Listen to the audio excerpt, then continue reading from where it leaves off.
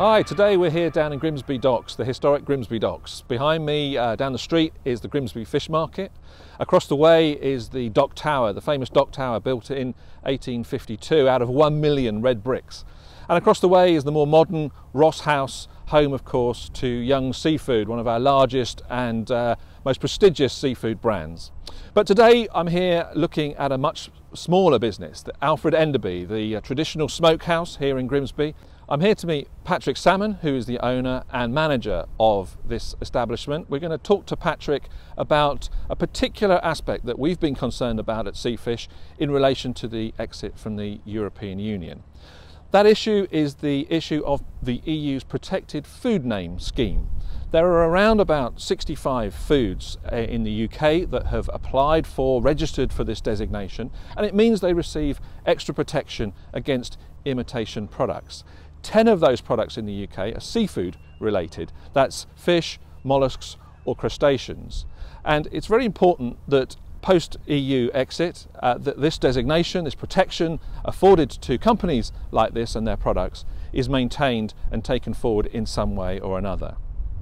We're going to hear from Patrick about his operations, about how significant uh, this designation is, and, and his views on the future.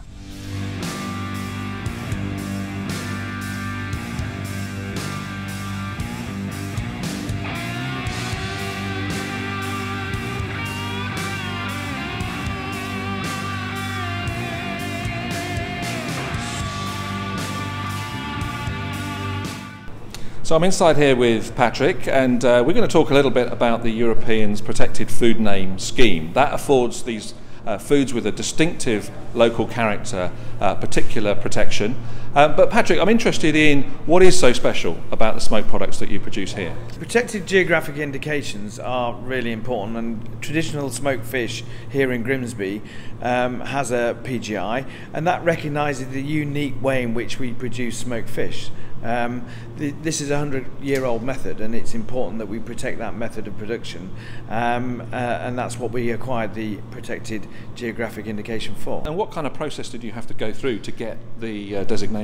Yeah, that, it's massive. I mean, it took several years uh, and lots and lots of people um, talking to the European sort of governing body, and, uh, and it's not easy. It's a it's a real hurdle jumping process. And having got it uh, as a business, um, what has the protected status uh, done for you and, and the product? Uh, has, it, has it opened up markets for you? Um, yeah, sort of. Uh, what you've got to remember is that the protected food names schemes are a signpost for consumers and the trade uh, recognising unique processes, unique products in unique areas there are only 82 protected food names in, in the UK.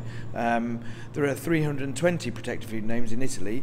There are 270 in France. Um, they have parties about them. They, they get really behind them. Um, there's only one protected food name in all of Lincolnshire, and it's Grimsby Traditional Smoked Fish. I understand there are about 10 uh, protected names for seafood generally in yeah. the UK. I mean, there's some examples. There's Arbroath Smokies Absolutely. up in Scotland. There's uh, Cornish sardines. Yeah. Uh, and I think West Wales has a Coracle Caught uh, Atlantic salmon. Yeah. Um, so, so what are the worries for producers like yourself about coming out of the European Union? So the fears were that um, the, the um, we wouldn't be able to use the protected food names that is a European system. The um, um, the government originally said we would have to trademark all our products, and that would be the protection. In what's happened is we've now uh, officially um, acquired agreement by government to have a UK-based scheme, um, and it'll be the same. Um, that's great. But what we don't know is whether or not that's going to be reciprocated in Europe. So the Europeans need protecting in the UK, mm-hmm. their schemes do. Now, you don't have to be in Europe to have a PGI or a protected food name.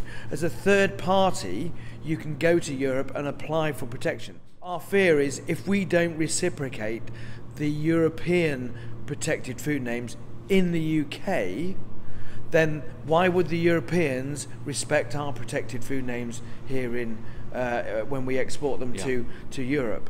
A quarter of all food and drink exports that are going to uh, uh, out of the UK are of protected food names products.